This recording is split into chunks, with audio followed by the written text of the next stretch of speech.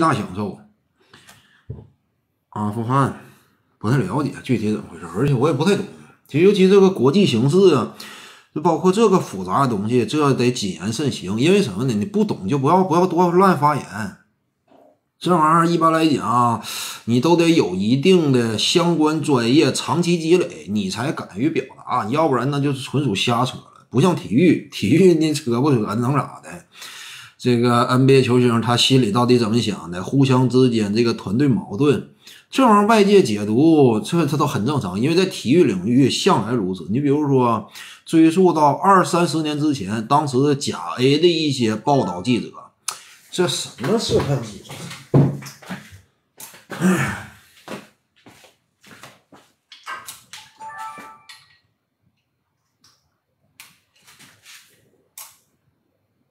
喂喂，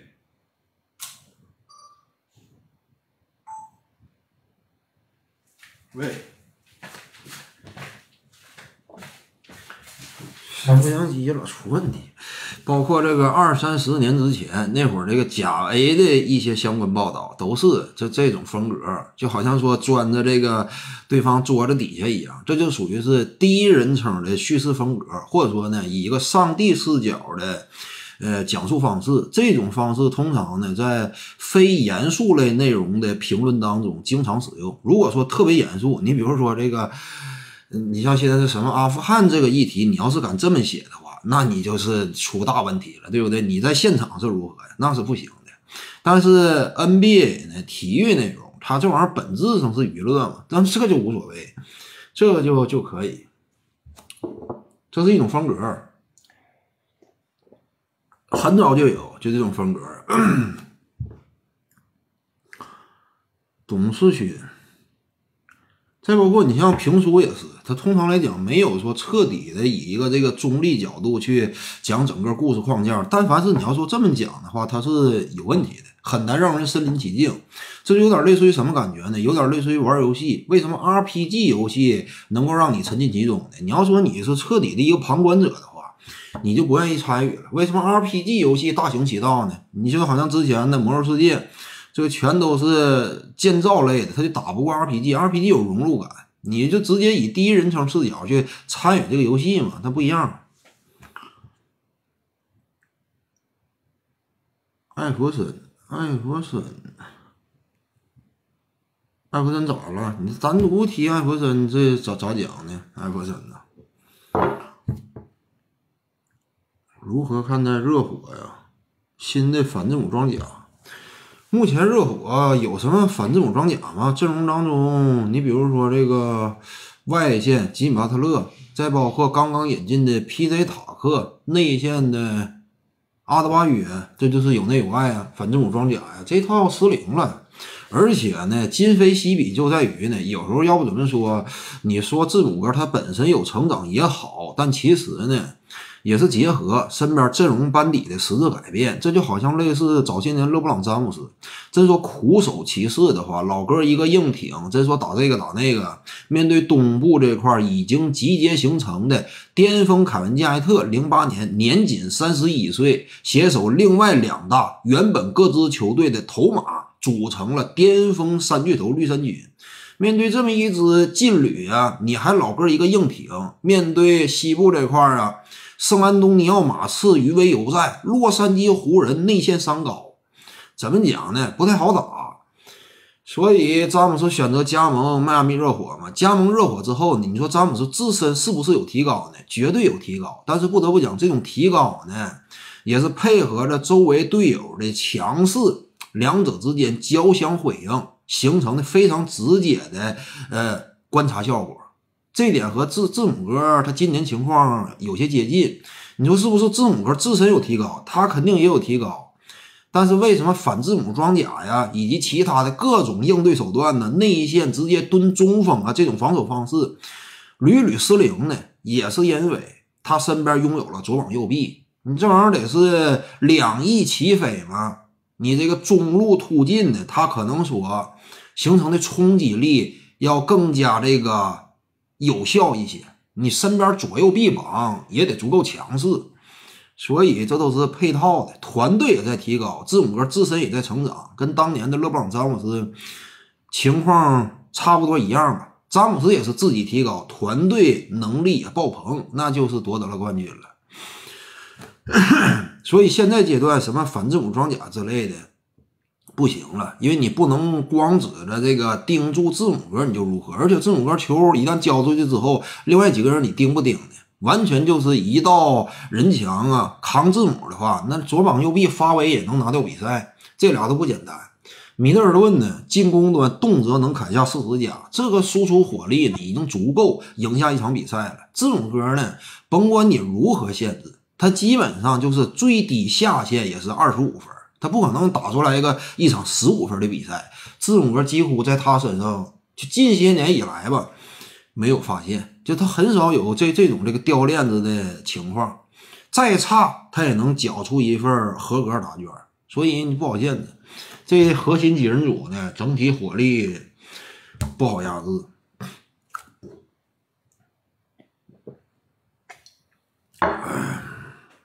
霍华德跟恩比德，央视主持人好几个水平，那那那是一定的嘛。那央视呢？当当然了，这是是这级别不搁那摆，这都是优中选优嘛。那那这个那都是人才。鹈鹕浓眉啊，还是湖人浓眉强？湖人浓眉强的，鹈鹕浓眉他不会赢球。现在这就是不断的学习，包括浓眉哥在内，你能够发现，浓眉自从加盟湖人之后，他整个季后赛他的比赛风格呀，他对于场上节奏的把握呀，越来越到位，这就是不断提高和成长。年轻时代呢，那会儿初出茅庐，涉世未深，在季后赛当中这一片浑水当中呢，可以说找不到方向，经常迷失自我，大量单打呀，局势稍有被动的，当时慌乱了手脚啊，现在都有所改观。基本上场上稳扎稳打，他跟勒布朗詹姆斯不断取经的过程当中呢，自身也大量的吸收知识，所以浓眉他也今非昔比，他就是体格不好，这一点是浓眉颇受外界诟病的一点。因为你再怎么实力强，你如果经常受伤的话，体格太脆，那也是让人提心吊胆。尤其打季后赛，他这个体格确实不太行。有时候经常稍微一接触一碰撞的就容易受伤，这一点就是个重大隐患。不得不讲凯文杜兰特啊，他自从是今年打完了季后赛以来，就整个的拼杀过程当中，甚至有时候是平拍倒地，就是重重摔到地板之上。但是杜兰特呢，没事人一样，稍微拍一拍，立刻就能够直接起身参与接下来的征战。所以杜兰特他现在的就是比较良好一面。为什么你在？判断杜兰特下赛季能否斩获一些顶级的个人奖项啊？带领球队能够走得多远呢？往往呢，就现在阶段，你再说杜兰特他有重大伤病隐患呢，随着这个打奥运会这么激烈的对抗环境，他也挺过来了，并且能够看出来是几乎是处在应对自如的状态。那这样一来的话，就杜兰特接下来的受伤风险呢在降低。有时候就这样，往往受伤呢，你能不能迈过这一个关键的坎儿？如果你迈过去了，差不多也就过去了。就现在基本上对于杜兰特，他这个跟腱问题呢，起码就复发呀，或者说连带的导致其他伤病出现的可能性啊，在迅速降低。这就好像人生一样，往往人呢有这么几个危险的节点，其一呢就是刚刚出生。再有呢，就是三四十岁，这也是一个节点。如果你过了这两个节点之后，差不多你就大的意外出现的可能性非常低了，通常能活个七八十。这就是人嘛，运动员也一样，受伤病，这个伤势出现之后，今后能否复发，能否引起连带性的其他不良反应？过了这个坎儿之后，接下来有可能一马平川了。起码就杜兰特目前的身体感觉，他也不怎么去对抗。而且打出了早些年杜兰特最健康时期的那种身体自信，所以接下来杜兰特，我判断下一个赛季应该有可能出勤率非常理想，出勤率。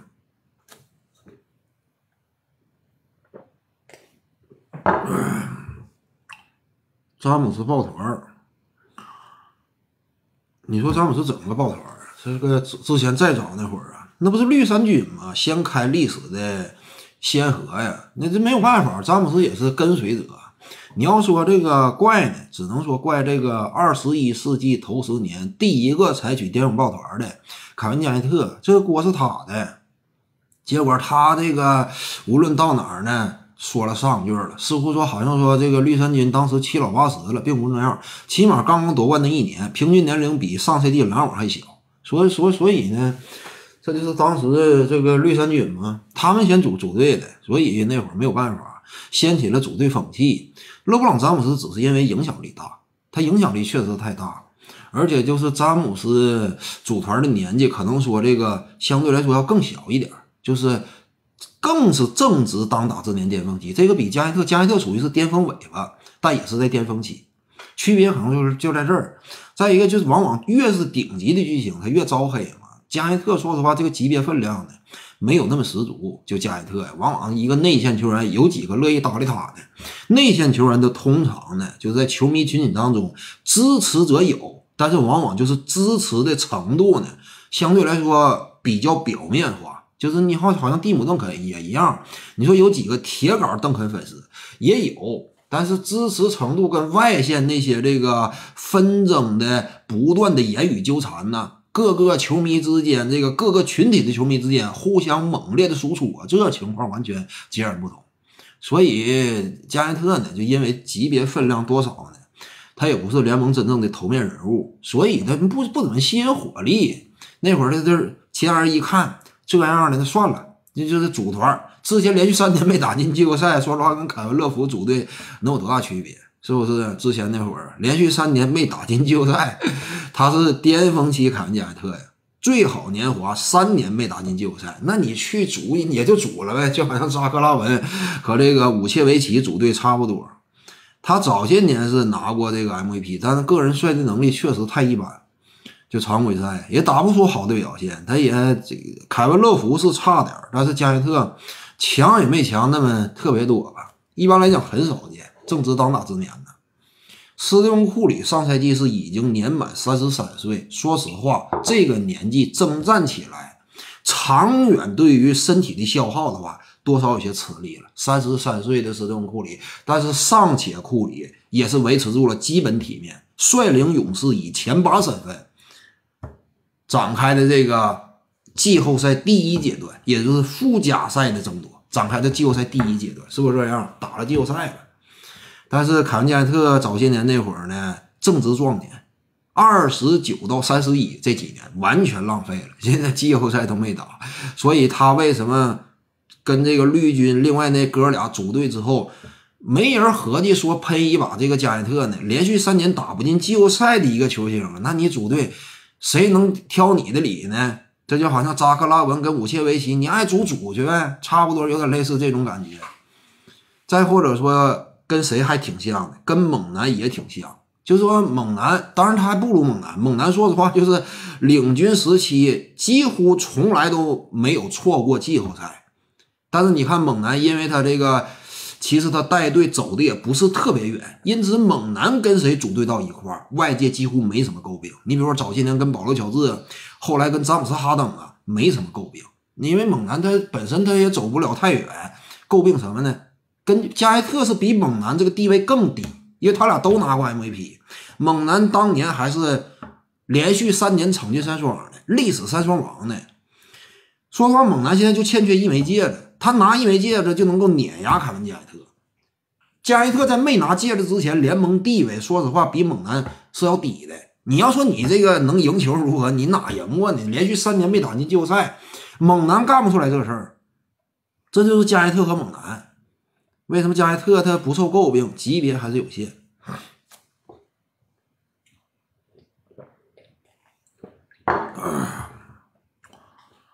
加内特和浓眉谁厉害？那这个又是不同的参照系了。没说加内特再惨也是跟那个呃威斯布鲁克比嘛。你要说跟浓眉这样的，因为浓眉他个人斩获这块确实是拿不出来什么太硬的东西。之前在鹈鹕呢，有时间啊，给他单独带队如何？但他带队比这个加内特更惨呢。加内特甭管咋地，以大哥身份干进过西部决赛，甭管说是引进了卡塞尔啊，又如何呀？身边其他不错的球员呢？其实浓眉也不算太差。之前那会儿还跟联盟当中，甚至就是二零一五到一六，当时多少曾经因为二零一五到一六那会儿比较特殊，一五到一六赛季尼古拉约奇刚刚进入联盟，那会儿还给这个努尔基奇打替补呢。乔恩比德呢，长期饱受这个骨折伤势的困扰，那会儿也是无法出战。联盟当中，真说纯正五号位的话，一五到一六那个阶段，也就是谁呢？考辛斯。为什么现在我们一谈考辛斯不胜唏嘘呢？当年曾经头顶过第一中锋的王冠，曾经啊，因为浓眉他更像是一个四号位嘛，因此呢，浓眉哥和考辛斯当年他俩巅峰期携手，绝对算巅峰期携手。这属于四五号位都是联盟一等一的这种存在呀，结果啥也没拿出来。你别说季后赛考辛斯伤了，常规赛期间你战绩也不好啊。因此你说你这个浓眉哥，他领军已经给你个联盟第一中锋了，你还是打不明白吗？那会儿也足以判断，就是浓眉他领军确实是差点，比加内特还要更差。并且他俩在单独领军那个时期，加内特进入季后赛的次数和比例也都高于浓眉。个人奖项斩获人家是 MVP，浓眉不是。浓眉现在拿了个冠军，确实挺露脸，但是也比不了凯文加内特。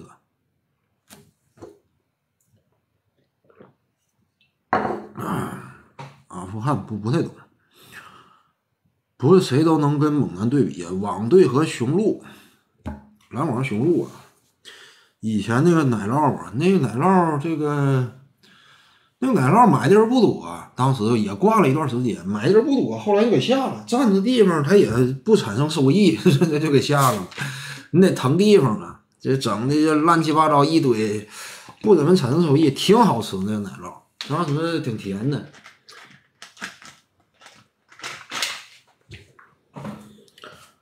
都是伊利大品牌奶酪，没这下了。不怎么卖，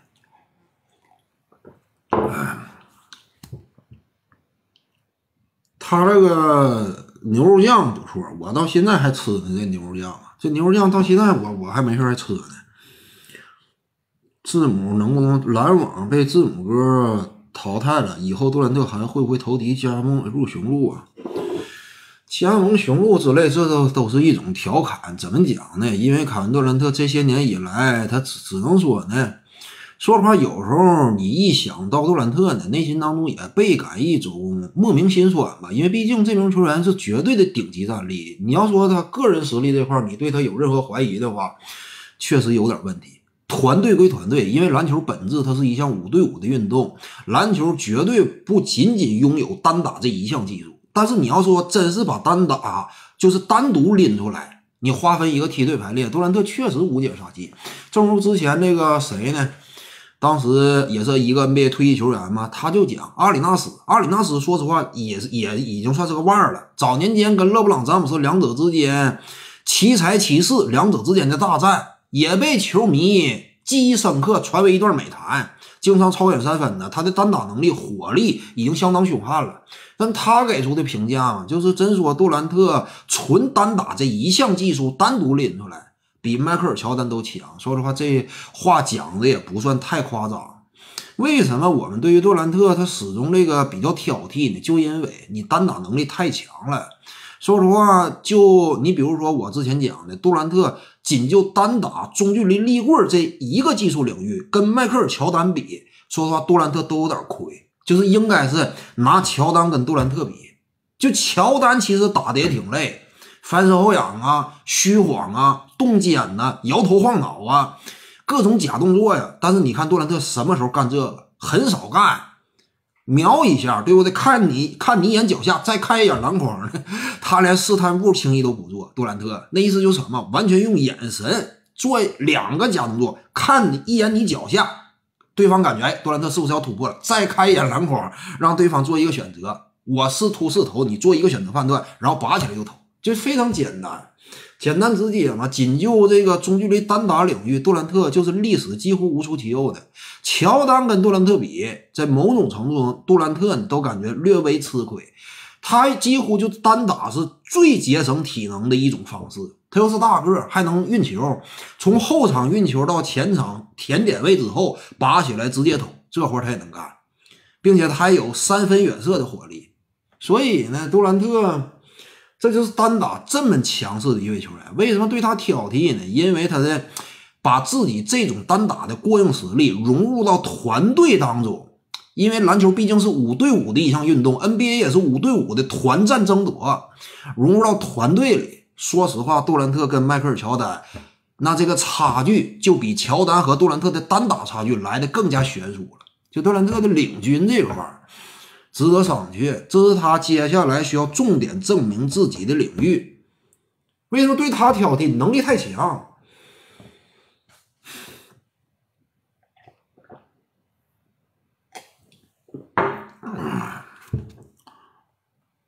性格嘛，这就是软件方面嘛。这个杜兰特，要不怎么说你就其他人加入金州勇士呢，掀起不了这么大的舆论呃风暴。但是杜兰特他就不一样嘛。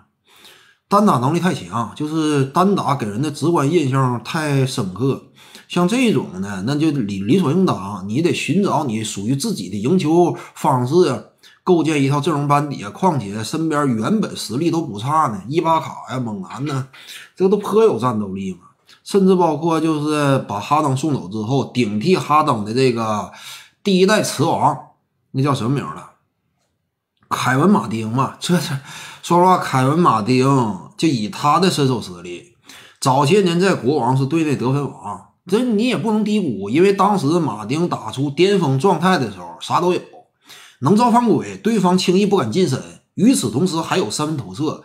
说实话，风格真是挺像哈登，所欠缺就体格比较单薄。真说这个，呃，与对方肌肉纠缠呢，他可能说差点儿。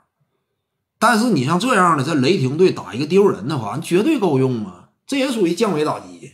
早些年那会儿打首发有这个实力，两二零一零年左右，当时凯文马丁在联盟当中有一号。后来到了火箭之后，竞技状态缩水，但也绝对是一个超六的有力竞争者这种身份。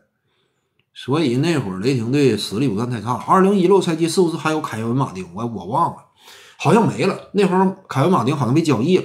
应该是，当时好像没了，早期那会儿是有的。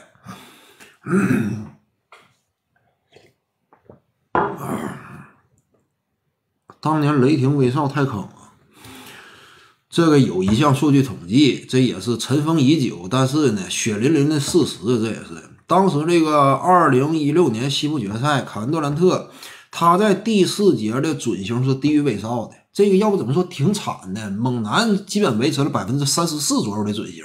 凯文杜兰特，我要没记错，就那一整年的这个，就二零一六赛季打那三轮系列赛第四节，杜兰特的准星低至百分之三十一，好像是。之前有过这个数据统计，那一年你要说他俩谁 carry 谁，这个事儿多少值得商榷。当然，当时杜兰特心态多少已经发生改变了，跟早些年不太一样了。因为猛男上一个赛季斩获了得分王了，就在队内怎么讲呢？就他俩的搭档携手关系跟联盟当中其他任何一对组合不太一样了。因为那会儿呢，猛男杜兰特他俩都属于年轻气盛，尤其猛男性格原本比较张扬，他俩说实话就个性层面尿不到一个壶里。猛男是属于这个大大咧咧也好啊，性格非常开朗外向。杜兰特呢？性格这块比较内敛低调，他俩风格完全不一样。因此，你要说私交，他俩之前，呃，彼此视为莫逆，这个可能性不是特别高。当然，彼此尊重，搭档多年，也是一个战壕里爬出的，不能说生死之交吧，也是紧密战友，这层关系是有的。但是私下感情不见得那么过硬。这是猛男和杜兰特，他俩这个。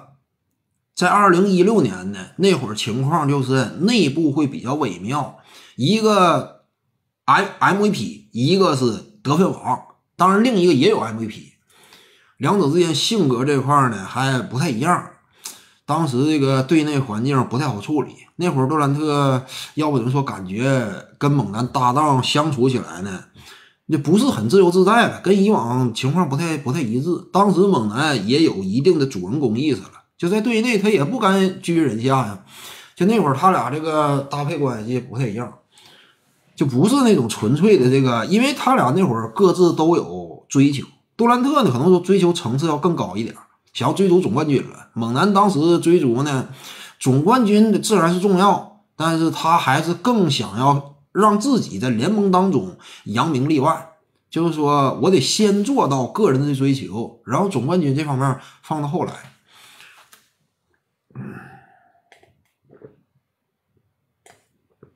哎，那一年 G 六汤神呐，说实话，就是任何一个球员呢，当你看到一五一六勇士打出的比赛之后，你都难免产生心之向往的这种直观感受。那谁不想在勇士队效力？哪怕你是。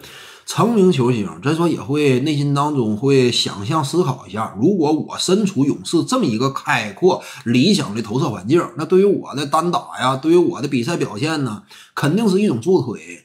尤其当时联盟呢，可以说组团风气呢，几乎已经蔚然成风了。你包括零八时期凯文加内特由他亲手开启的巅峰组队的模式，之后呢，勒布朗詹姆斯为了对抗绿衫军，也是。掀起了一段组团之旅，到了迈阿密热火嘛，后来回归克利夫兰骑士，同样是三巨头的格局。金州勇士呢，铁三角组合，靠着先进的打法呀，一位领军人物划时代的技术特点呢，在联盟当中也是独树一帜。所以那会儿呢，本身这个背景环境就是组团呢已经蔚然成风。更何况勇士队这种先进打法，任何一个 NBA 球员在那个特殊的历史时间点上，难免被之吸引，这是很正常的。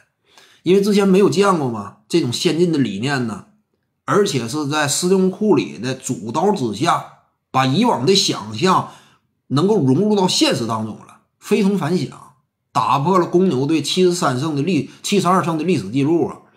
所以，任何一个球员，真说有机会，他内心当中多少都合计一番，在勇士队打球那番场景会有多么美妙。杜兰特也不例外，例外之处就在于杜兰特是把这个事儿做到现实当中了，这个事儿是比较例外。当时杜兰特也是情绪比较焦急，猛男呢，他是处在追逐扬名立万的过程当中。至于冠军呢，可能说本身目标这块儿。差不多未见得，对于猛男来说是排到首位的。杜兰特他可能说需求层次相对更高一点，就个人证明这块我早已厌倦，我想要总冠军了，比较急迫。再加上猛男跟他尿不到一个壶里，所以那会儿就做出了加盟金州勇士的决定。说实话，现在回忆，弊大于利，这个绝对是弊大于利。你让杜兰特再选择，他不会选择加盟金州勇士，这是弊大于利的。有收获，但是后劲太重了，这后劲儿啊。五年已过，但如今在联盟当中一谈到杜兰特，还是会有诸多调侃。这一点怎么讲呢？反噬属性，就是甚至让杜兰特心烦意乱。早些年杜兰特不是后来这种性格，但是后来甚至就是心绪都为之大改，这就是反噬作用。再给一次机会，绝对不会不会干。那会儿也是各种机缘巧合，急功近利了。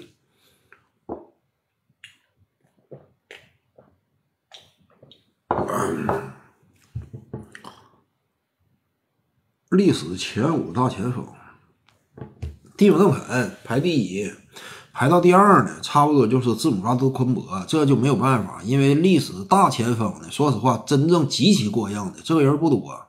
蒂姆·邓肯如果是放到中锋堆里，当然他也相当硬，但是不至于说成为什么第一中锋，甚至前三呢。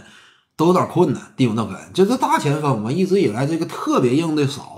蒂姆·邓肯位列第一，排到第二呢，那就是这个字母哥杜昆博，因为字母哥两届 MVP，手里有老大冠军，人家也是母队夺冠。虽然说呢含金量比当年的这个诺维斯基一定是低，但人家俩 MVP 啊，而且含金量低一点我也有一个，对不对？你要说你俩的话，你压我，咱俩都是一个吗？个人奖项这方面，这方面我还有 DPOY 呢。几乎字母哥就是个人奖项的大满贯，人家还有母队的一个金光闪闪的总冠军戒指，所以他是位列第二。第三呢，就得排到这个德克诺维斯基了。老司机啊，在当代这么杂乱纷争的年代里斩获过 MVP，率领球队呢拿过一枚历史含金量最高的总冠军。所以司机是位列第三，排到第四呢。历史上还有谁呢？排到第四，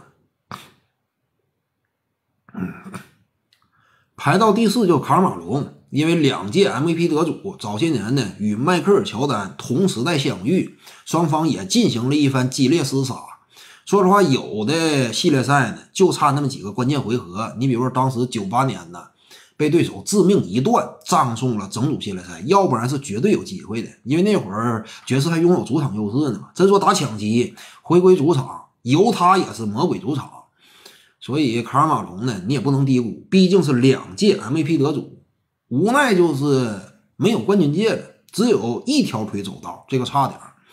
排到第五呢，凯文加内特，加内特是两手都硬，但是 MVP 数量稍微短了点儿。而且他这个冠军层次呢，相对来说也差一些，所以凯文加内特排到第五吧，比卡尔马龙我感觉多少呢，会有一丝欠缺吧。他这个冠军，他有冠军，啊，这玩意儿怎么判断呢？这玩意儿不好判断呢。卡尔马龙不太好判断，卡尔马龙你要说比诺维斯基高，这绝对夸张。卡尔马龙啊。那基本上就是我感觉加内特呢排到第五吧，老前辈尊重一下。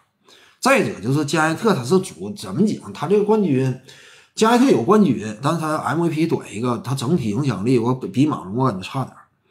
加内特排到第五吧，他这个也是，但他是老二冠军嘛。说实话，你这这种级别的高手当中，老大冠军说话是不是这样？凯文加内特排到第五，因为他那个冠军呢不是真正的老大冠军。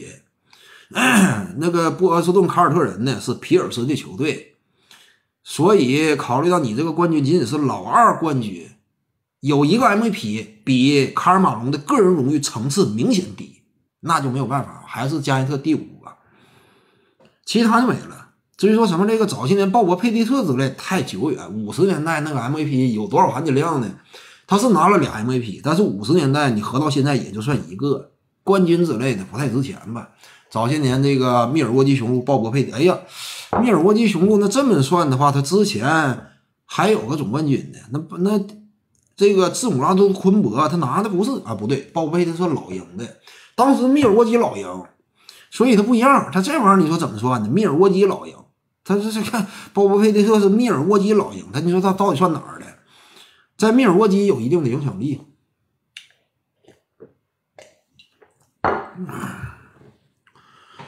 巴克利不行，那比这几个谁也比不了，他就一个 MVP，这个团队成绩也没有，那比这几个比不了。大前锋也就这些人了，再挑挑不出来了。保罗加索尔之类的，跟这几位比的话，呃，资格不太够。保罗加索尔。天狗贾巴尔，这不都中锋啊。天狗贾巴尔只是瘦溜的身形，看起来好像说是个大前，实质上是中锋，身高达到了两米一八还一六，是不是？也是一个举火烧天类型的打法风格的球员，绝对中锋。早些年呢，他是中锋。雄鹿不就贾巴尔之前拿过冠军啊？对，雄鹿之前贾巴尔拿过。之前天狗贾巴尔，他和这个当时是大欧奥斯卡罗伯特森。携手拿过一个总冠军，在字母哥之前，但是真说至于雄鹿队内的队史意义的来讲，贾巴尔他不如这个字母哥。字母哥两个 MVP，一个总冠军，说实话，在当代呢，这个含金量要比当年更加十足，并且效力年头也不一样。贾巴尔我要是没记错，他是七五年还七四年就转会到洛杉矶湖人了，七五年不对，七五到七六赛季去的。也就是说，他在湖人队正八经打了十四五年，在密尔沃基雄鹿呢，就打了满打满算六七年左右，这个时间太短。字母现在已经打八年了，所以就是效力年头啊，各个方面啊，他都不太一样。而且贾巴尔在湖人队前期那会儿呢，拿了好几个 MVP，在雄鹿时期，应该我没记错是三个 MVP。真说打个对折剩一点五个，不太够，冠军也就一个。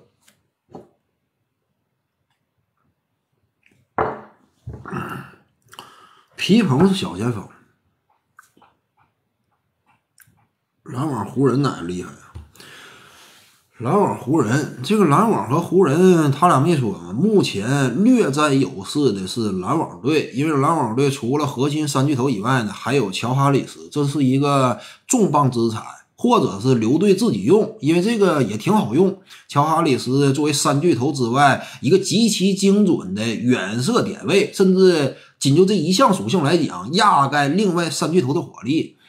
这是往场上一摆呀，篮网队就能化身为绝对无解的进攻阵线，是任何球队难以招架的。只要说三巨头俱在，配合乔哈无解进攻，这这么一套班底啊，如果感觉呢有必要在攻守两端适当调整，拉一下平衡的话，动用乔哈里斯能够换回的防守资产规模绝对不会简单，也一定是联盟当中防守大闸级别，要不然你不够资格换乔哈里斯。乔哈这种非常值钱。类似于你像邓肯·罗宾逊呢，也相当值钱。乔哈起码体格这块啊，比邓肯·罗宾逊多少还强点儿。这是篮网队的优势。接下来有变化的可能性，他还有后手可以用。实在不行，我就调转车头开向另一个方向。湖人呢，目前就是比较棘手。霍顿塔克下赛季你要说给他机会呢，那么就压缩了其他更加合理、拥有更长登场时间球员的比赛机会。这个不利于球队真正说打出凝聚力，因为队内应该有一个真正说客观公正的时间的分配标准。你不能说任人唯亲的，你也不能说任人唯亲，就说你年纪轻点啊，我就给你机会啊。一般的球队可以，争冠球队不能这么用，那伤了老将的心嘛。这帮老将自尊心也非常强。你要说年纪轻轻，队内有个贾马尔、贾莫兰特。队内有个这个杰伦格林，那无所谓，我也就忍了。我岁数挺大，压这种超级新星的比赛时间，可能说自己内心当中都感觉颇为不妥。甚至就争冠角度呢，他们的巨大成长性一旦成长起来，整个球队如虎添翼，那这个老将也会识大体，为团队做出牺牲。但你要说，湖人队这一干老将为了一个霍顿塔克，我牺牲出场时间，区区一个二本秀，说实话，那这就是容易扰乱队内原本积极的比赛情绪了。谁都不甘于给一个霍顿塔克这个打下手啊，所以这是湖人队的纠结之处。你要是不重用他呢，按照正常的实力划分以及兼容性排序呢，排到第十二位附近，那就完了。一千万养在板凳型，长期看守饮水机，那就毫无交易可能了。基本上，那就是湖人队相相当于养了个垃圾合同，在争冠的体系之内。那接下来，就算说湖人队发觉这么一套阵容呢有一定短板，也无力下刀了，无从改变。所以目前这是湖人队暂时的隐患，暂时的隐患。当然，湖人队其实如果打的比较顺利的话。不用霍顿塔克也不是不行。其实这个纳恩呢，真说硬实力的话，他跟这个乔哈里斯谁强呢？纳恩和乔哈里斯，你说他俩硬实力谁强？真说打到季后赛，谁更加好用一点呢？谁更加好用一点？纳恩攻守两端多少能兼具，乔哈里斯防守是个绝对漏勺。乔哈里斯还是乔哈猛点因为他这个进攻实在比较凶悍，还是乔哈猛点反正湖人这纳恩顶一个乔哈呢，顶起来有点困难。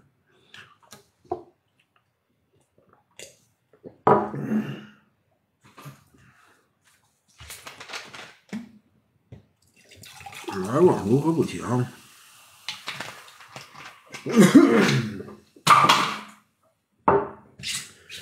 这个不是什么这个恨塔克呀之类的。塔克说实话，现在算是打出来了，就不像之前那会儿，这个处在风雨飘摇当中，未来到底能不能混上一口饭呢，都尚且值得商榷。当下已经领了大合同了，这还不值得同情了。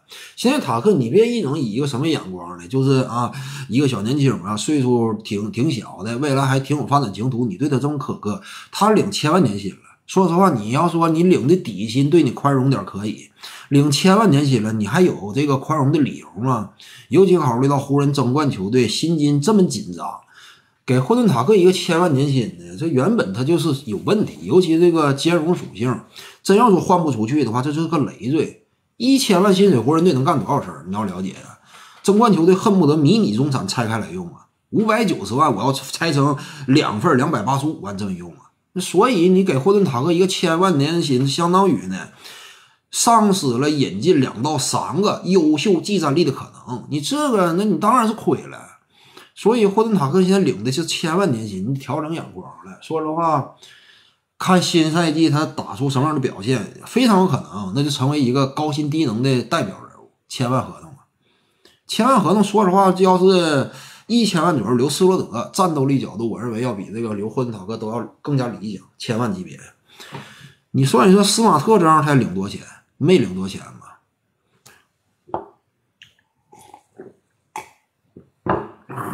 朗佐鲍尔才领多钱？朗佐鲍尔，我要是没记错，应该是领的一千八百万年薪吧，不到两千万，是不是？朗佐鲍尔这回的朗佐鲍尔签的应该是四年七千二，是不是？四年七千二，合到一年一千八百万，不算太多。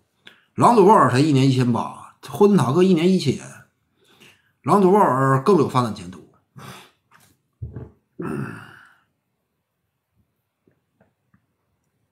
篮网新秀托马斯。下赛季篮网老大，浓眉数据啊，浓眉现在交易价值怎么样？交易，你要交易那是肯定的，谁都想要啊。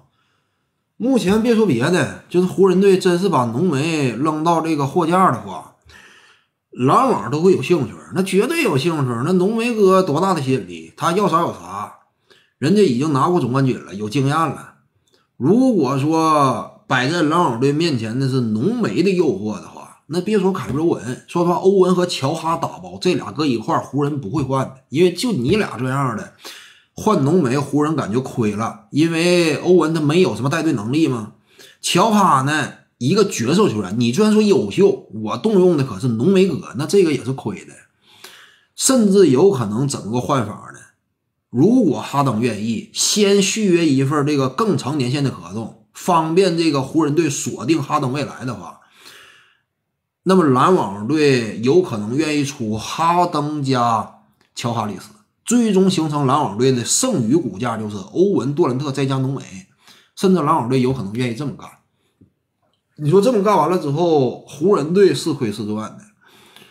湖人队还是亏，因为。哈登就是年龄大，如果哈登再年轻两岁，毫无疑问，那湖人队不需要犹豫，换了也是赚。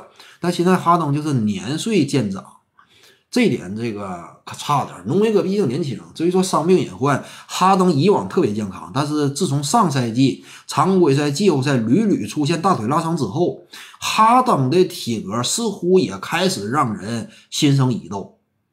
所以，如果是换的话，现阶段。哪怕是哈登加乔哈，湖人队都多少感觉有点不情愿。浓眉代表未来，年纪轻轻，人家已经夺得了冠军了，要啥有啥。所以你要说出浓眉的话，那几乎联盟当中除了字母哥的昆博、超新星里的特雷杨、德文布克，再加一个卢卡东奇、杰森塔图姆，这几人换不了，其他基本上逮谁换谁，就是几乎没有非卖品了。乔尔、恩比德或许都存在探讨的一定可能性，因为这个是存在探讨一定可能性的。恩比德也是个玻璃人，你也别瞧不起浓眉，甚至恩比德比浓眉更加玻璃。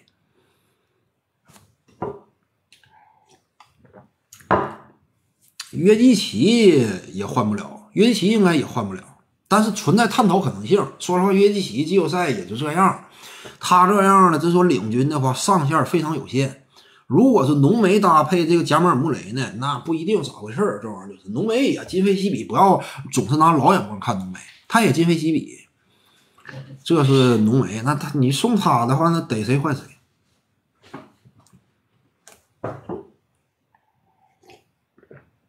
目前是篮网队呢，詹姆斯·哈登交易价值不像之前那么高了，交易价值不像之前那么高了。很多球队对于哈登。就进一步观望了，因为上赛季季后赛当中他也没怎么打，打的场次太少，常规赛也是总受伤，那没有办法，体格熬坏了。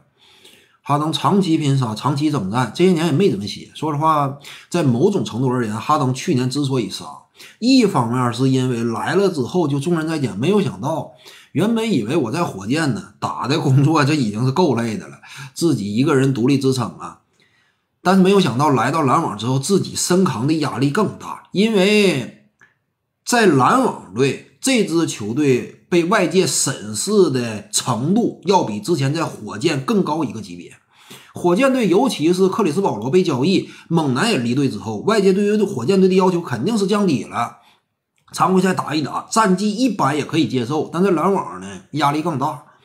再者一点，杜兰特常规赛经常高挂免战牌，凯罗文呢也经常无故请假，所以那会儿哈登是身扛重压，受不了。就是自己哪怕体格再好，这么用我呀，简直不拿我当人呢。我还是个超级明星呢，干的比蓝领苦力都累，那就没有办法。后来就大腿出现了拉伤，当然这只是其中一个诱因，还有一个诱因是什么呢？说实话，联赛当中你仔细看啊，之前那会儿我们称联盟当中的几大顶级高手，詹库、杜哈这四人，前三个都出现伤病了。詹姆斯是二零一九赛季腹股沟拉伤，高挂免战牌，那一年几乎就没怎么正经打。斯通库里呢也遭遇骨折伤势，凯文杜兰特呢跟腱断裂。说实话，就这四大高手，因为之前长期在最顶级舞台针锋相对，巨大的消耗。詹姆斯哈登这些年也没怎么正经歇，常规赛几乎全勤，季后赛也是硬扛诸多高手，甚至屡屡是双拳敌对方四到六手。詹姆斯哈登啊，所以也是积劳成疾。为什么今年伤了？他属于是，你不能说是报应，但是这个伤病的后劲儿侵袭过来算是晚的了。另外那哥仨早就伤了，他是二零二一年当下的重压，再加以往的积累，集中爆发，伤了一把。说到哈登，你还得佩服这个铁人素质，要不怎么说他这一点就比詹姆斯甚至还要更进一步呢？他一个是把这个时间拖后了，他是最后一个出现伤病的。再有一点呢，他出现的伤病也是最轻的，仅仅就是腿部拉伤。你其他那哥几个，基本接接近于中等或者说中等以上伤病，只有哈登伤势是最轻的。所以去年其实篮网队你仔细一考虑，也不算太过遗憾，因为这玩意儿也是时间积累，符合生物的客观规律。哈登也是积劳成疾。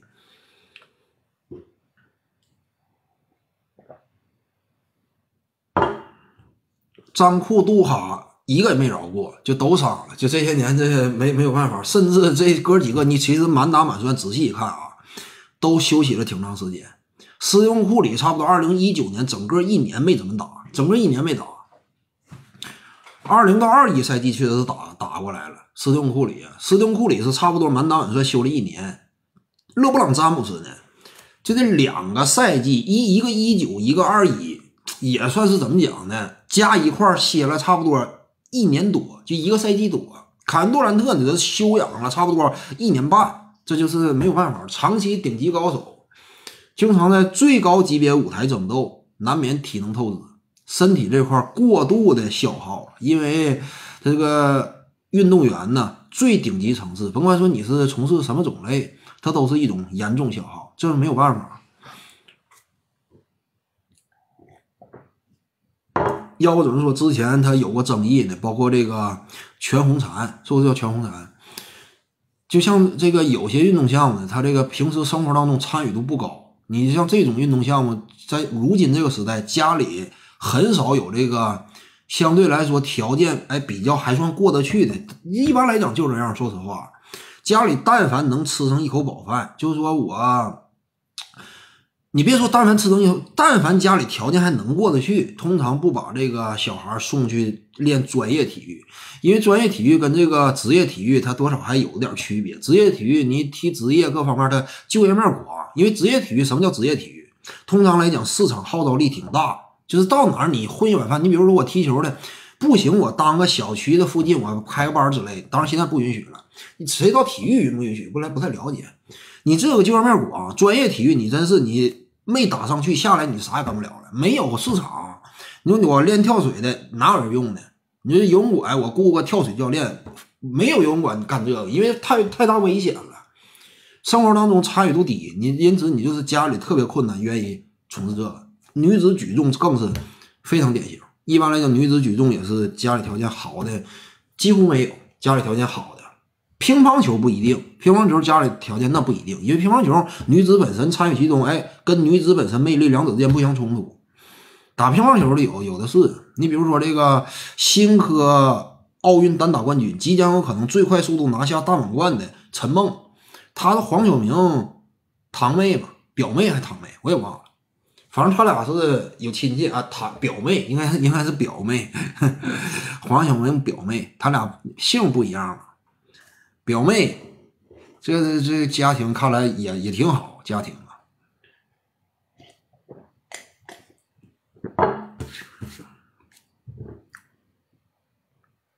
台球的也相对来说，他这个都他台球具体，丁俊晖其其实人家里最早那会儿也不是揭不开锅，人都送到国外去打球，也不是揭不开锅，当然比较冒险。乔哈换特纳，篮网就完美啊！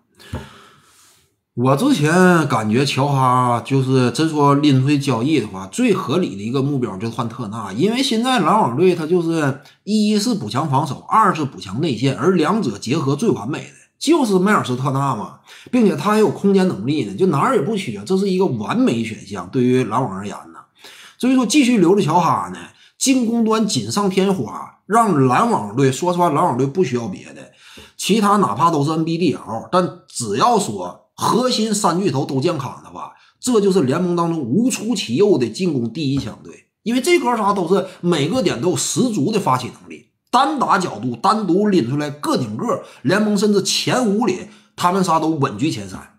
你就就这这这种级别嘛，单打呀，前五里边拎出来他仨都能位列其中。你在这种情况之下刘乔哈呢，相当于是让篮网队原本就是九十九分的进攻变成了九十九点五，多了零点五有多大意义？这玩意儿或许有意义，但是我感觉意义是非常有限。应该补强的是防守，乔哈里斯换出去，换谁呢？换本西蒙斯你换不动，换本西蒙斯那就是大刀阔斧进行改变，你得动欧文了。但是动欧文是值得商榷的，因为欧文毕竟是。巨头，人家单打拎出来也是极具威胁。你要说动欧文这个不是第一选择，第一选择就是动乔哈。动乔哈换谁？既能防守又能拉开空间，与此同时又能够让篮网队补强内线，只有一个选择，那就是迈尔斯特纳。而且在步行者队呢，特纳他也是位置摇摇晃晃，他跟队内的萨博尼斯两者兼容起来效果不佳。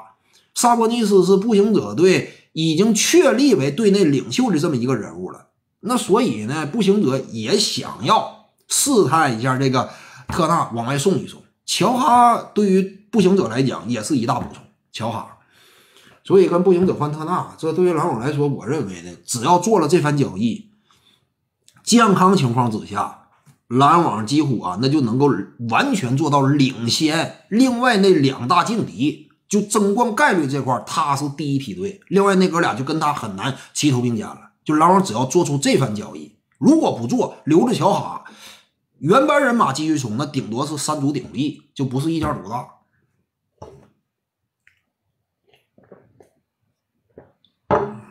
这特纳有用，又能远射，有篮儿，又是个内线，多好用！篮网队所欠缺的。几几大关键性角色，他都能够三合一的球员，他属于是。这个格里芬呢，他其实篮儿也没有这个特纳准，防守呢不是个悍将。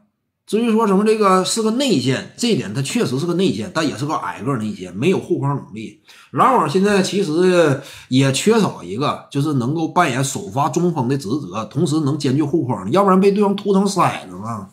之前打凯尔特人，凯尔特人往里突这个突的篮网都挺难受，更何况打更强的球队呢？被对方一个劲儿往里突你，你也不太好受。格里芬他不不行，他签的底薪你看没看到？格里芬呢？说实话，格里芬扔到自由市场之上，外界给他的待遇和认可明显也不高。像这种球星呢，已经打没了球星行情了，再想签大合同就困难，通常也就签个迷你中产。格里芬适当牺牲了一定的薪水，签了一份底薪。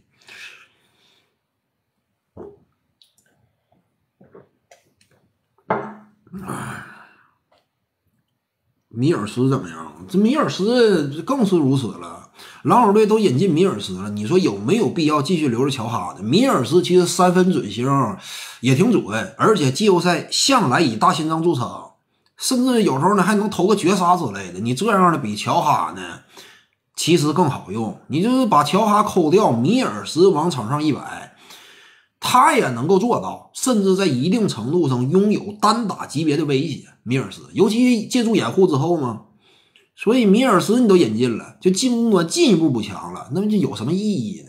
这会儿就应该把乔哈扣掉，差不多。篮网队我判断，包括今年的选秀一开始出现的苗头，引进都是进攻型球员，基本上就是要放弃乔哈了，要进行一番交易了。其他目标差不多就是不太好，不太好定位，定位在步行者的特纳身上，这是最合理的。格兰特换回来。你说这个活塞队的格兰特呀，活塞队的格兰特是目前换不回来。格兰特他是个锋线，而且是三 D 属性。说实话，格兰特这样的呢，也不怎么抢戏份，远射准星也够，还能防守。你这样的你换乔哈，这个换不了。格兰特自己他已经打出场均二十加了，他这样的基本能扮演一个二三当家的角色，比乔哈的整体定位要高。如果狼想用这个乔哈换格兰特呢？那就得配合上选秀权，才有可能打动这个活塞，因为活塞需要选秀权，但篮网队手里没什么选秀权。所以说队内有限的几个年轻人，说实话，这几个都没什么十足前途，活塞也看不上。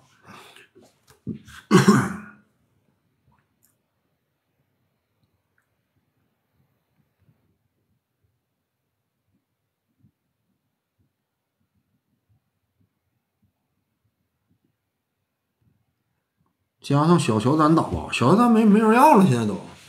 你看联盟当中还哪有球队对小乔丹感兴趣？这已经过时了。移动速度呢，今非昔比，并且比赛的这种积极态度呢，似乎说也不如当初了。这就是小乔丹，他跟谁多少有点接近的，跟那伊巴卡有点接近。那之前那会儿都有名望，但是如今这放到场上，几乎主教练都不敢用了。包括这个泰卢也是，就季季后赛打的那么激烈焦灼，不敢用这个伊巴卡。小乔丹一样，他这样不值钱了。如果留着，那顶顶多就是出于，呃，对核心这几人组这个篮网队崛起之初的关键人马的一种基本尊重，维持一个队内环境的稳定，留他，要不然没啥用。格兰特去凯尔特人，格兰特呀，你说这个活塞队格兰特去凯尔特人呢？凯尔特人拿谁换呢？凯尔特人目前阵容当中是积累了一批这个相对来说顺位不算太低，差不多是在首轮前十五附近。你比如说朗福德呀，什么普里查德呀，再有内史密斯啊，但是这几个呢，这没什么真正打动人的地方。就他们多少都有两下子，上赛季在绿军呢，也不是完全混饭的，多少呢，在某一个功能性领域还有点价值。但是你靠这个球员换格兰特，这是不现实的。而且由此呢，也能够看出，就绿衫军这些年呢，之前谨小慎微，甭管说引进谁，选秀权始终不愿意往外送。说实话，这么抠抠搜搜的，最终你看你选中的这几个，甚至别说别的，包括这个格维和罗伟在内，甚至包括他俩，没有一个够得上球队未来发展，起码是三核之一的这种级别，没有一个够得上。也就是说呢，最近五年。凯尔特人抠抠搜搜攒了这么些选秀权，都留为己用了，没有换来一个真正有价值的球员。就阵容当中现有这几个，拎到自由市场交易行情都有限，而且这种同等级别的运动员市场之上有的是，随便挑起来。也就是这个罗威呢，相对打出的能量高点，但也没高到哪儿去。他现在是空有臂展和封盖。其他方面还是一个璞玉，需要雕琢，并且他就是未来发展的再好，他也不可能成为什么联盟当中的球星，距离这个还是非常远。因此，相比较于凯尔特人为了保留住手中这几个选秀权而付出的巨大代价，错过的一个又一个优质的交易方案，这绝对是不划算的。现在的绿军呢，就是靠着核心几人组的，呃。合同红利在搁那硬撑，合同红利，你比如塔图姆啊，三千来万的薪水，刚刚签完续约合同啊，签到了二零二五年，二四到二五赛季有球员选项，起码还能用个三年嘛。不对，他是二五到二六赛季有权选项，起码还能用四年。塔图姆起码还能用四年，三千万一年的薪水还能用四年。杰伦布朗呢，两千万一年的薪水还能用三年，他是到二零二三年到期，二零二四年到期。对，杰伦布朗是到二零二四年。哎呀，这个这个凯尔特人这个合同红利期确实是挺诱人，这帮人啊，合同都不贵。包括这斯马特，他也不是那么贵，就一千八百来万，也不是特别夸张，一千八九百万呢，没到两千万。尤其他这是属于是人生当中或者说职业球员呢最划算的一个年龄阶段，就是往往这个年龄阶段是球队通常不惜代价的，就多少给你有点溢价也是可以忍，因为这是最黄金的一段年龄，对于斯马特来讲。湖人能不能抢一下班巴呀？不要提班巴了，这班巴这个球员之前传了好长时间了，而且之前在这个魔术队啊，包括他比赛场上真实的贡献能量相当一般。之前魔术队是不是打了打了附加赛了？我也忘了，反正表现不好。魔术队好像没没打附加赛，但这个班巴是已经过时的一个球员，没啥太大意义，提他呢没什么用。湖人篮网新秀托马斯。托马斯之前就是投中那个绝杀回合，但是这年轻人呢，一是看天赋、看潜力，二是看球队当中对他是否需要。目前篮网队最需要的是防守力量，进攻端早已能量溢出，所以我判断下赛季甚至有可能呢，篮网队会大量的选择下放这个新人托马斯。这说留在队内的话，作用有限，就在场上能够扮演的角色确实是比较，呃，矮化。那你如果说没有机会培养你呢，倒不如说就是把你先下放，你在低级联盟练一练，非常有可能。所以暂时没有什么发挥余地。夏季联赛这个比赛本身含金量有限，你要说绝杀、绝平之类的，这玩意儿也就一走一过吧。过了这个几天之后，就没人再想得起来了。低级别比赛。球人西蒙斯啊，大地续约了。球人接下来这个西蒙斯，我就纳闷儿，这个之前勇士队啊，包括管理层啊，一直在犹豫的，就是格林能不能跟本西蒙斯兼容。这个事儿犹豫的有点邪门儿。你既然说要是看好本西蒙斯的话，那你一定是以格林为主要筹码换本西蒙斯，要不然你还得想动谁呢？你动不了其他人嘛，你只能是以格林为主要资产去撬动，或者说进行一番三方交易。你换其他人，而且你他俩放到一块儿，明显是无法兼容的。这都不用合计，俩人就光有防守，但进攻端一个空间能力都没有，并且他俩呢严重冲突，都属于持球在手，拥有比较大的威胁。无球状态之下就是球队累赘。你要说这是把他俩搭配到一块儿，你让本西蒙斯打替补，还是让格林打替补？他俩谁打替补都是一种浪费。他俩本身这种球员特点也不适合打替补，因为替补要求的更多还是进攻端的爆发力。他俩都不适合打替补，打首发呢，这个俩人无法兼容，所以本西蒙斯引进跟格林搭不到一块儿去。所以你要是既然是对本西蒙斯感兴趣，那一定得是交易格林为主要的整体框架方案。交易格林呢？为什么对格林这么看好，始终非得要留住呢？换本西蒙斯绝对值得，用格林为代价换本西蒙斯，甚至可以考虑什么？库明加穆迪这俩你挑一个，我搭配格林往外送。如果奇尔林乐意的话，搭配往外送都可以。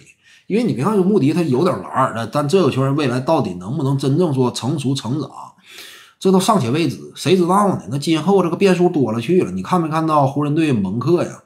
他进入 NBA 顺位不低，十一顺位，而且人家本身有篮。但你看现在混多惨，已经领底薪了，这年年都有高顺位新人，更何况你顺位没有那么高呢。这个水掉的太多了，所以如果为了本西蒙斯，除了格林以外再搭一个，再搭一个年轻人，这都值得。本西蒙斯挺强，如果本西蒙斯来，你再搭配上这个呃库里、汤普森以及奥托波特，那这就是更有想象力。本西蒙斯呢就不打一号位了，因为你这会儿你再打一号位，库里算几号位呢？那你就不打一号位了。这会儿本西蒙斯就直接接替格林的板，打一个四号位，那就彻底转化成四号位。我感觉挺适合这个本西蒙斯的发展的，因为事实检验证明，字母哥趟出来一条道，四号位没篮呢，不是不行，多少还能生存。梅兰啊，哪怕我罚球也不准，我也照样可以四号位。尤其本斯本西蒙斯他的支配能力比字母哥还要更强，所以他认定自己未来的方向是四号位，在勇士队角色更加清晰，也不见得都是坏坏坏处啊，有一定好处对他个人发展。搭配水花兄弟，那就是打的，我感觉这个可以想象。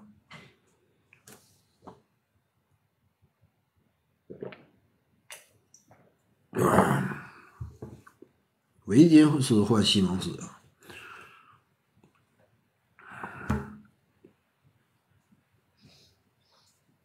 啊，你是说之前就是勇士队想要探讨的维金斯换西蒙斯啊？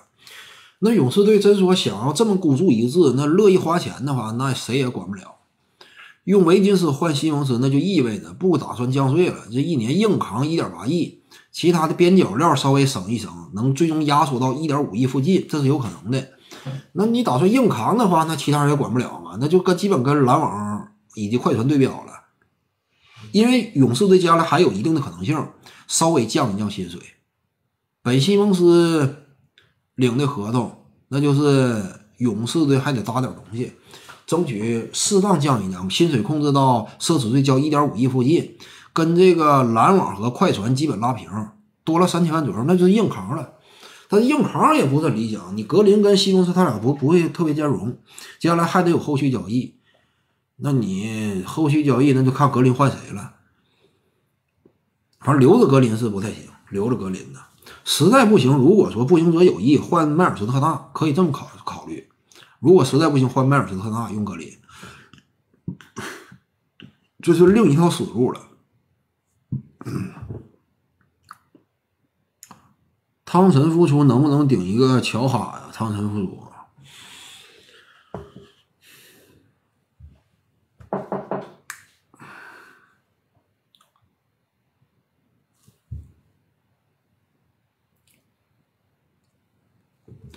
我感觉目前汤普森他回归之后，健康或者说。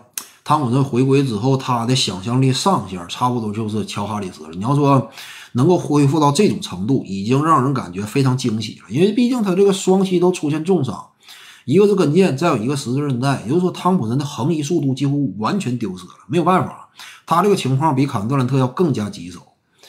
更何况呢，汤普森原本呢，他就是三 D 属性，这点跟杜兰特还多少有点区别。而且杜兰特身高臂展的这种优势，对于他的进攻端的影响要更小，对于汤普森的进攻端制约呢也明显要更大。所以汤普森回归之后能恢复到乔哈程度，这就已经是最极致的一种乐观想象了。再更强呢，就不太现实了。比乔哈再低端一点呢，那就差不多能够变成谁呢？贝尔坦斯啊，差不多也就这种程度啊。贝尔坦斯这种程度，如果再低端一点呢？那就是成为目前锋线位置上多少有点难。你要说变一举变成这个詹姆斯恩尼斯呢？恩尼斯啊，那有点跌的太狠了。希望能差不多打出乔哈级别吧。打出乔哈级别，我感觉就是可以了。因为乔哈薪水也基本上够得上两千万附近。那汤普森这份合同就不是那么特别垃圾了。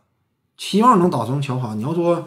完全指望汤神恢复身手，当打之年那种水平，这是不现实的。因因为有时候你得实事求是，他是双膝都都出现伤病。如果说早些年仅仅是十字韧带，那你甚至可以想象汤普森重新恢复完全体级别的身手，那都是可以想象的。但是双膝都伤病，那就就不可能了。理性判断不现实。乔哈能打成这样，这就不错了。全哈没防守，没防守，他起码体格健康了。而且比汤普森年轻啊！汤普森如今已经是三十岁了，恢恢复等到下赛季打到后期就已经接近三十一了。汤普森本身年龄也上涨了，二十九到三十一这个最黄金的一段年龄没有看到。说实话，汤普森如果一直维持健康啊，他有可能向上更试探一步的。汤普森就当时那个发展趋势来判断啊，说实话，打总决赛，汤普森一点儿是。没有怯场的这种感觉，虽然说他运控能力没有那么强，但实质上汤普森他就是在水花兄弟这种铁三角格局之下，就是没有凯文杜兰特的格局之下，他打出的比赛能量一点不逊色于凯瑞欧文。由此可见，就是二零一九年总决赛，汤普森的比赛风采已经差不多就是接近二零一六年凯瑞欧文了，甚至可以他俩直接划等号，因为汤普森还有防守呢，防守端人家还能上去扛这个卡维朗纳德呢。结合攻防的话。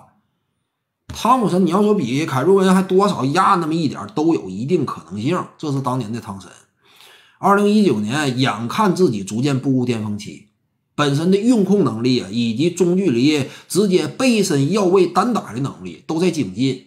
那会儿动辄起来就暴扣，当时由此可见，汤普森对于自己的要求，那种心气儿也达到了高点。如果一直维持健康呢？经历一九到二零以及二零到二一赛季这两年的关键成长，二十八到三十这两年没有荒废，难以想象。那届时汤普森有可能触及到什么样的级别高度呢？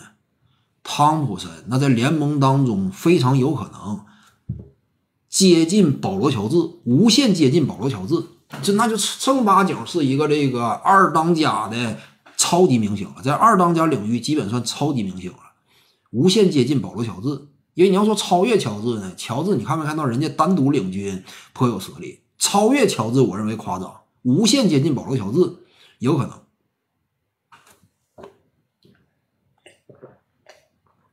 打成莱昂纳德这是不现实的，那你要说人人都打成莱昂纳德，这是不可能的。无限接近保罗·乔治，G 六汤。雷霆勇士，我感觉这个汤普森打猛龙那一场 G 五不对 G 六也是 G 六，是不是？当时仅仅是打了不到三节，汤普森砍下三十一分，而且高指高效，当时完全无无法阻拦。汤普森这个球员，要不怎么说让球迷感觉非常可爱呢？就他这个球员是越是到了要劲的时候，他就是越准，并且呢无视防御，有这种这个。属性，这就不像说乔哈里斯，你看没看到乔哈里斯？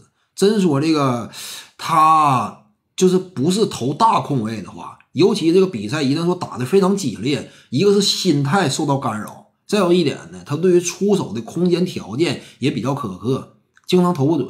汤普森呢是完全这个面对重重防守压力，也是能够无视防御，手型不变，稳稳命中。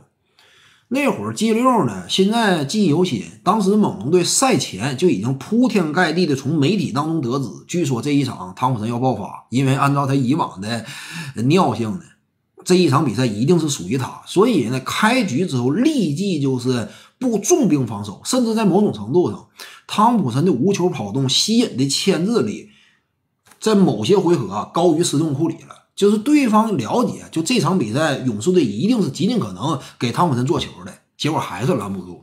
当时就把这个莱昂纳德，你看莱昂纳德一般来讲很少受到惊吓，但是，呃，那一场 G 六勇士和猛龙关键战役呢，莱昂纳德多少有点麻了，就是感觉这玩意儿有容易翻呢。就汤普森这种竞技状态，没有想到勇士倒了一个克莱汤，倒了一个凯文杜兰特之后还这么生猛，汤普森简直是无法阻挡。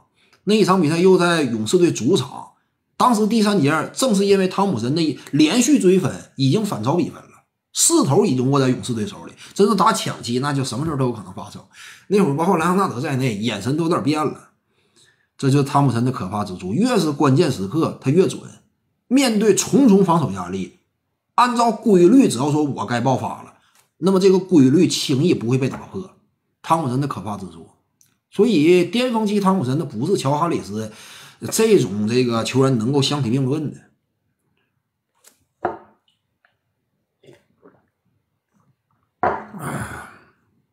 特里斯坦汤普森去湖人呢，这 是詹姆斯就是网罗自己以往的旧臣呢，都往湖人队划了，没啥用。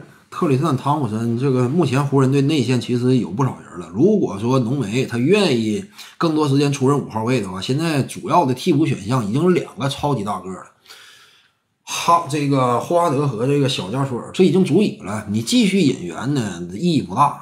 而且湖人队当下这个阵容本身就比较拥挤了，再引汤普森没啥太大意思。汤普森也未见得愿意来。湖人他本身需要更多需要空间型内线，你要说没有空间能力的，有华德一个够了。更多需要空间型内线，汤普森也不是特别适合这支这个骑士队。卡佩拉这样的尚且跟猛男搭配起来都不是很兼容的，更何况汤普森这样的，要他也没用。现在哪个队伍比较需要汤普森的？篮网这样的，篮网说实话，真是有机会能引进汤普森的话，说实话，给一份迷你中产，我感觉都多少值得一拼。就引进汤普森，如果说他要的话，要这份，但是现在已经没了，迷你中场给了米尔斯了。篮网其实汤普森应该可以尝试，他有季后赛经验，而且掩护挺瓷实。现在这个比赛呀，呃，无论是场上的积极性啊，场下发表言论呢，都非常正确。他跟凯瑞文关系又没有破裂，他俩一直以来交情维持的不错，所以引进特里斯坦汤普森对于篮网来说是个挺好的选择。篮网搞来格林呢？那你看那意思就是，现在这个篮网也有兴趣格林，德拉蒙德格林。篮网如果引进德拉蒙德格林，那你看用谁换？用乔哈里斯换呢？乔哈里斯那不不不不，这个就看这个骑士人愿不愿意了。如果骑士人真是愿意要乔哈，那就是篮网、骑士人再加金州勇士三方交易，单独交易勇士队不会干的。那格林换个乔哈回来，防守体系崩溃，这是不行。光有进攻了。詹姆斯四冠六亚呀，再夺一亚，历史地位能不能超过邓肯呢？四冠六亚，再夺一亚，历史地位超过邓肯？你这四冠呢，本身那是早已超过吗？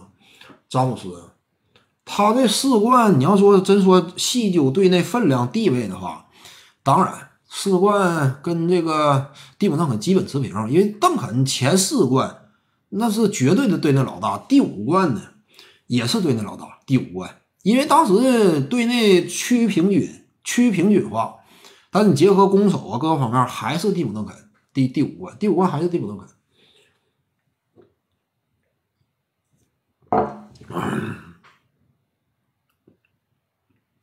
下赛季篮网、雄鹿看好谁呀？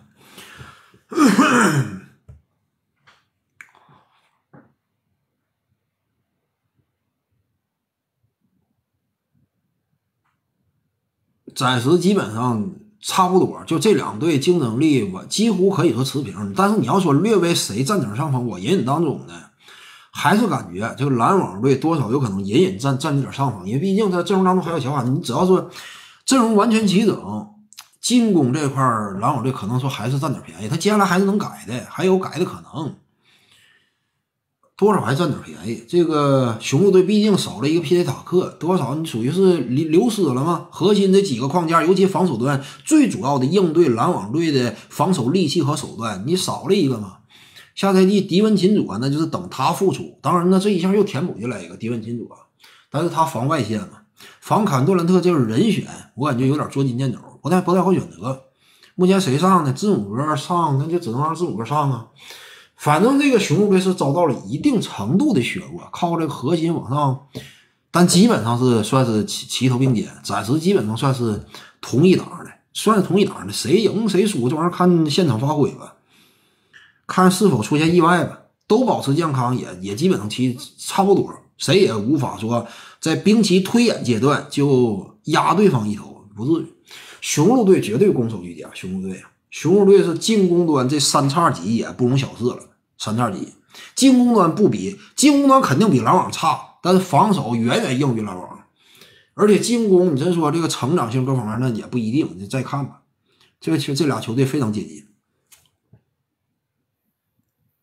特雷杨硬实力能进前十啊，基本够了。现在阶段这联盟可以说呢，已经这个联盟出现了一定程度的迭代，老一房呢有伤的有伤，能打的呢。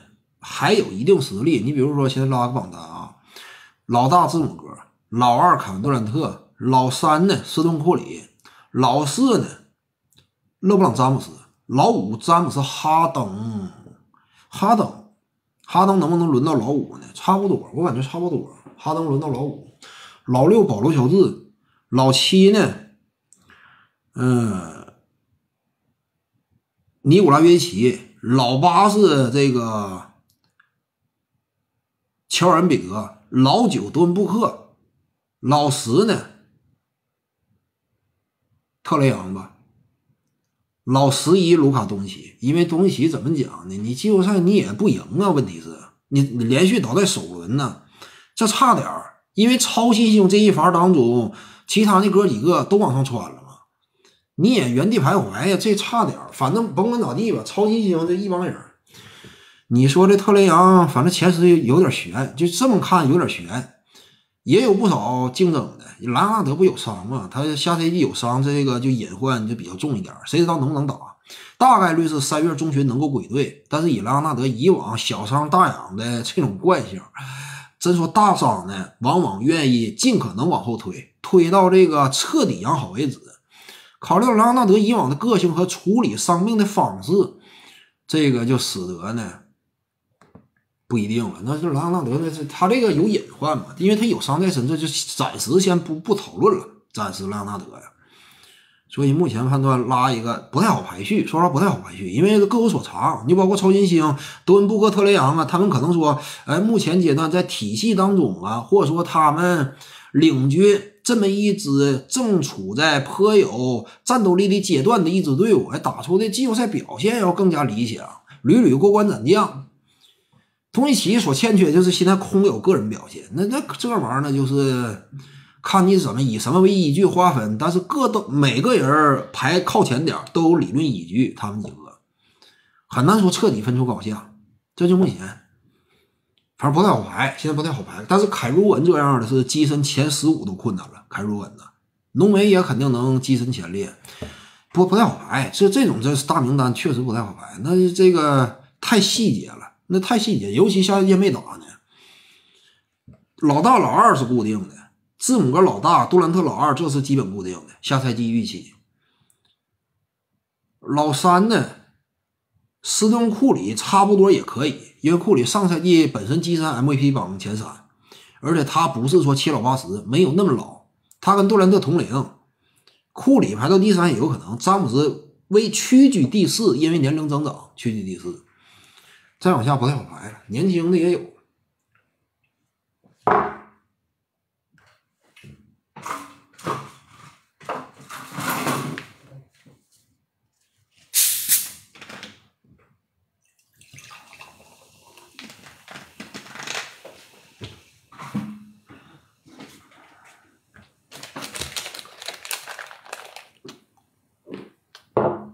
各位观众有兴趣可以尝一尝这个浆果啊，这个浆果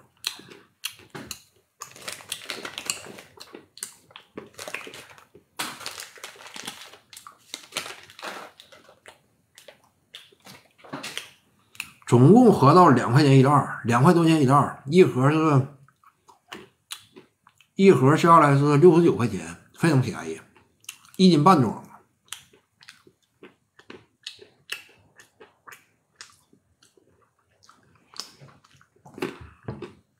好吃，塔图姆啊，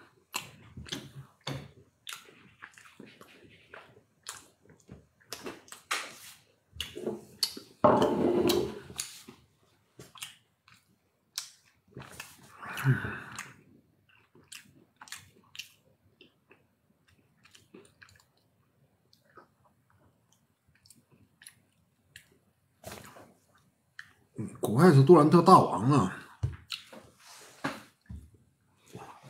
这个更多就是一种吹嘘了。如果你把杜兰特归类为下赛季大王，这要明显吹嘘。说实话，你这个是不下档。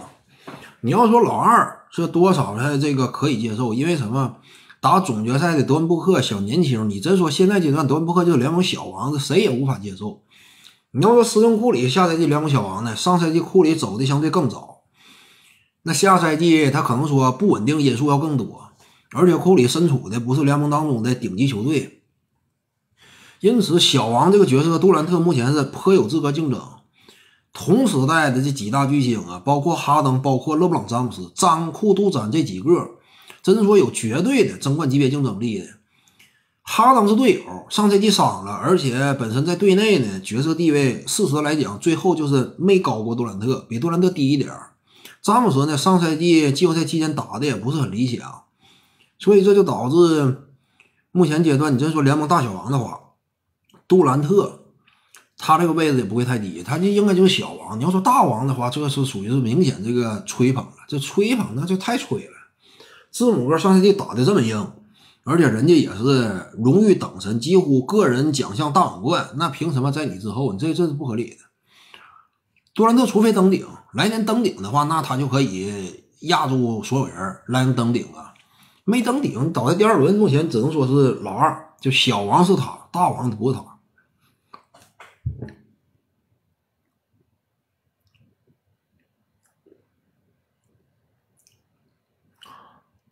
字母没有三分能力排老大，那不重要啊！你要是没有这三分能力，你就包括这个奥尼尔，他没有运球能力的，那你说他是不是曾经的联盟第一人呢？那不也是吗？天高贾巴尔啊，当然你说他没有三分，那是时代所限。但是这不同角色位置，他有不同的比赛要求嘛？你好像这个控球位斯顿库里啊，他扣篮费劲呢，对不对？那但是曾几何时不也当过联盟第一人吗？尤其一五到一六那个阶段呢，也是实至名归。那个阶段，斯通库里这玩意儿人都有一定缺陷嘛，他没有十全十美的。包括迈克尔乔丹不是十全十美的，科比布兰特远射也没有那么精准的。而且你说字母哥没三分，他跟本西蒙斯不一样，西蒙斯是彻底没有，本这字母哥你说他彻底没有啊？无论是打西部决赛，还是打打这个东部决赛，还是打这个总决赛，他也没少扔。而且扔有时候也能扔进，准星差不多能合到百分之三十左右，没有那么差嘛，多少是有一定威胁的。你说他罚球不准呢？总决赛最后一场，这个差不多恨不得二十罚十八中，比当年诺维斯基差不了多少罚的。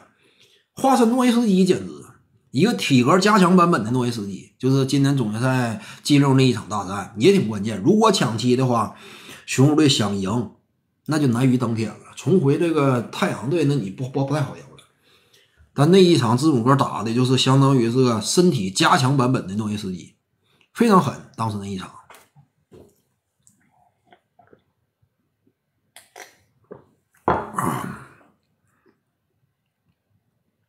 下赛季詹姆斯夺冠能排到什么位置？夺冠也还是第二，历史上还是第二。夺得冠军，你跟迈克尔乔丹之间还是有一定差距嘛？夺了冠军之后就是五个总冠军呗，个人以及团队比迈克尔乔丹还是稍微短点儿拿一个冠军的。这就到了这个程度之后，上面只有一人高高在上，你这个想比呢，想把对方撵下去啊，那你就不是一朝一夕能够做到，长期积累，季后赛当中你还得说继续。在高龄的情况之下，那勉强硬拼，还得继续拼，比乔丹还是比不了。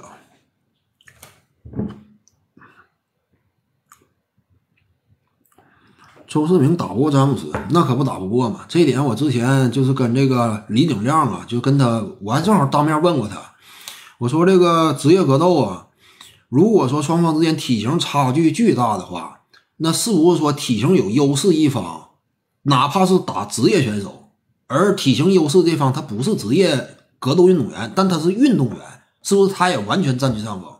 李景亮当时讲的绝对占据上风，因为职业格斗他内部之间打呢，就是哪怕赛前称重差了半斤，这都能够影响比赛最终走势。一般来讲，涉及到奖金分配的话，原本五五开，你如果说两称重的时候你高了半斤，对方同意跟你打，那最终分奖金有可能就是三七开。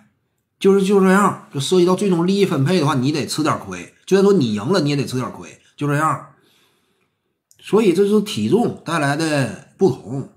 你就包括这个李景亮他自己讲嘛，如果是跟帕奎奥他俩之间打一场这个格斗的话，想怎么打怎么打。这李景亮自己讲的，我可以按照自己想法，我怎么虐对方都无力招架，因为体型差距太大。这个帕奎奥。无论是体重啊、吨位、高度、臂展呐，李景亮完全碾压的话，你都没法近身。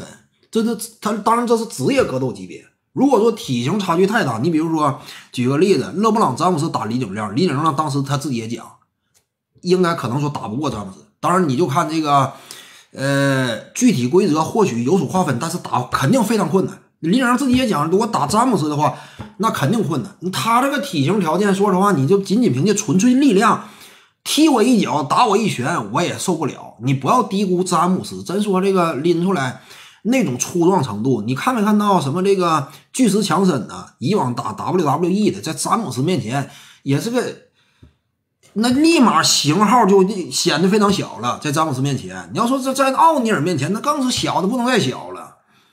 这就是体重吨位，一力降十会，在格斗领域当中也是成立的。更何况人家本身职业运动员，詹姆斯跳的又高，真说卯劲跳起来一个飞踹，那这个你也受不了。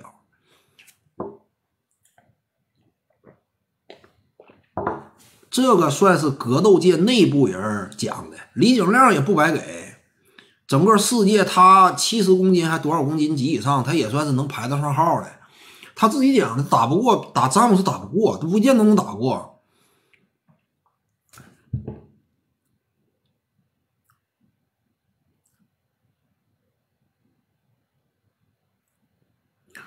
更多隆多更适合哪个队？李景亮，帕奎奥能打死李景亮？你这这，那你这是吹着唠了吗？李帕奎李景亮他不说这个就是大话的，他没有那么多扯淡。他讲的就是我打帕奎奥，我可以吊着他打，我想怎么收拾就怎么收拾，他根本进不了我身，因为双方之间都是行家，谁也别使狗刨，互相之间体型差距如此悬殊，我再弄不过你，那我简直别打格斗格斗职业格斗了。所以你要说这么直接，双方之间就开干的话，李景亮有绝对信心能够完全压制帕奎奥，因为就格斗种类来讲，李景亮也是开放式的，他有多种技术手段，而帕奎奥就是拳击。上脚的话，肯定二把刀打不了职业的 MMA 选手。但是李景亮同时又可以讲嘛，我要是跟詹姆斯碰上的话，那我不见得能赢，因为詹姆斯这个体重吨位高度比我强太多了，而且人家也是职业运动员，那爆发力呀各个方面一点不逊色于我。我就是跑，詹姆斯都能把我给撵上，放风筝我都放不了。我咋打呢？人家本身吨位就高，我近身起来，我其实呢不见得完全占便宜。人一力降十会，你我拽人家。人一下就把我甩到一边头，力量方面有差距，吨位啊，这就是格斗。你要吨位重的话，你明显是得力。就好像李总亮讲，正八经职业格斗比赛，如果赛前称重，对方比我多了半斤，我都有有权利拒绝出赛。如果我要是愿意打的话，愿意在你体重超标情况下跟你打，哪怕就多半斤，最终咱俩的奖金分配你也得给我补偿。而且李景亮讲，就是双方打到最后一刻，对方如果说真是高我半斤的话，有时候我就输在这儿。李景亮讲的，拼到最后一个回合，那就差一点，差多了，我就打不过你了。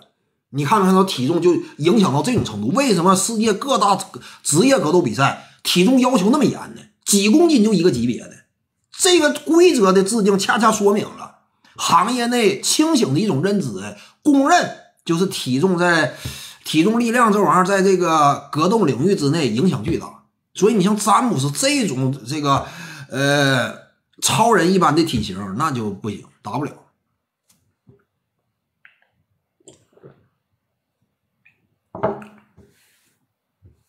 李景亮没说假话，他说他不一定能打过詹姆斯，看来他还是实事求是的。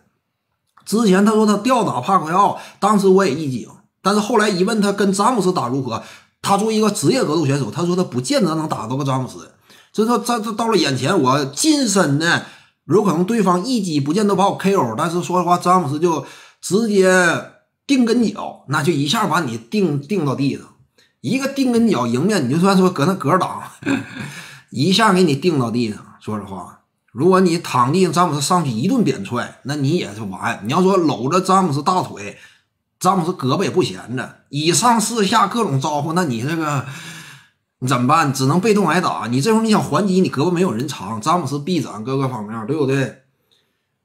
詹姆斯冲起来一个野蛮冲撞，那 这玩意儿这个李景亮，我估计当时都给都得给撞飞，那就没有办法。你要说我就是海盗式打法，打一打我就跑，詹姆斯跑的比你快，上去就给你撵上，那这这就不行。而且詹姆斯。人家多少稍微了解点格斗常识，你都你都完，保护好裆部，保护好眼睛，你就跟你打去呗，你其他点位你你就打我，你能把我打出事儿啊？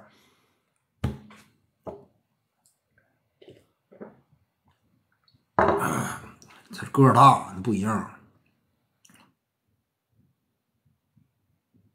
字母哥和杜兰特不了解。一个到了下赛季总决赛 MVP 啊，泰森，你说打詹姆斯，他俩本身这个重量吨位就就接近，你这那不一样。重量级这种重量级的那是例外，因为泰森本身就属于是不限体重吨位，他已经达到一百二十，哎呀，不是泰森多重了，我也忘了，他是泰森多重，反正他是最高级别，他是重量级的，不一样。重量级的那这这都都是个大，基本都具备一击致命的能力。这个抗击打吨位就差没有那么悬殊。泰森接近一米八呢，霍利菲尔德不也大个吗？霍利菲尔德，那他这个就不太一样，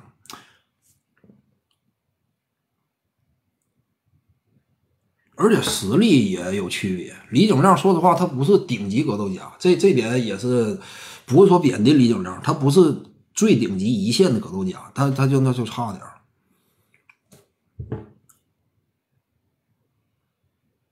罗斯最高达到过联盟前三，那就是二零一一年那会儿，罗斯有没有资格跻身联盟前三呢？那会儿联盟第一是勒布朗詹姆斯，这个毫无疑问。当时战斗力各个方面，你要说排到第二，公平的讲，应该说是这个德克诺维斯基，就是二零一一年。那一年，德里克罗斯斩获常规赛 MVP。公平的讲，应该是德克诺维斯基，因为你得结合一整年嘛。甚至诺维斯基呢，你要说吊打詹姆斯，在起码二零一一年，甚至你用吊打二字也不算夸张。詹姆斯面对二零一一诺维斯基也是无力招架，但是詹姆斯起码是前二，常规赛结合季后赛整体表现，因为除了总决赛发挥不佳以外，詹姆斯其余比赛也是统治级的。排到第三呢？你要说让我选，那得是科比布兰恩特，可能说更加恰当。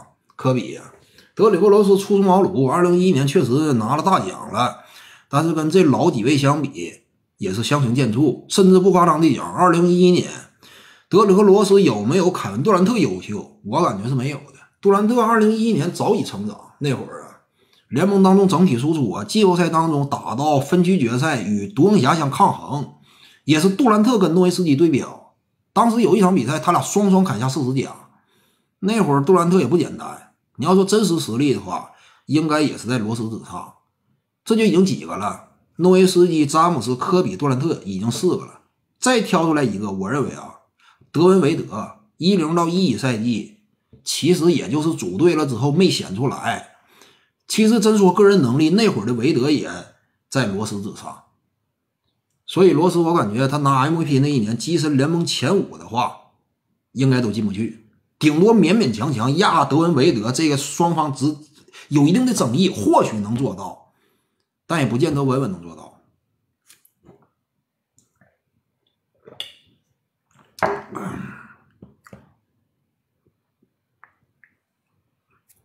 相扑它不一样，相扑这玩意儿，它这你就可以放风筝嘛。而且相扑它这个打法各方面，它是完全规则限制之内，它是一个来回推人的游戏。它这个不是完全的格斗。相扑你表面上它名义上好像说跟格斗差不多接近，但它这不是跟格斗不是一回事儿。它这更多不是以击倒对手为目的，而是把对方对方推出圈嘛，这个不一样。因此强调的呢，就不是纯粹的格斗，互相之间的技击，而是强调的一种这个吨位力量，更多是就这方面单一维度展现，有点技巧，但是它这个不是，更多不像一个，也是也属于格斗。但一般来讲，相扑它划分为格斗呢，也有点这个有点差吧，就不能完全划划分为格斗。就在一个小圈里把对方推出去嘛，这个不一样，他不允许打人呢，相扑啊，只能是单掌可以拍一下，但不能不能打脸，打脸是不行的，那这就不算是正八经格斗。我这电池没电了，今天咱们先讲到这儿了，再见了各位观众，咱们先讲到这儿了，再见了各位，今天咱们先讲讲到这儿了啊，再见了各位观众，咱们明天再见啊。感谢这个优者和这个生活不止 XQ 七春秋白可人生元芳唐德小泉李双，再见啊，各位观众，再见了，各位。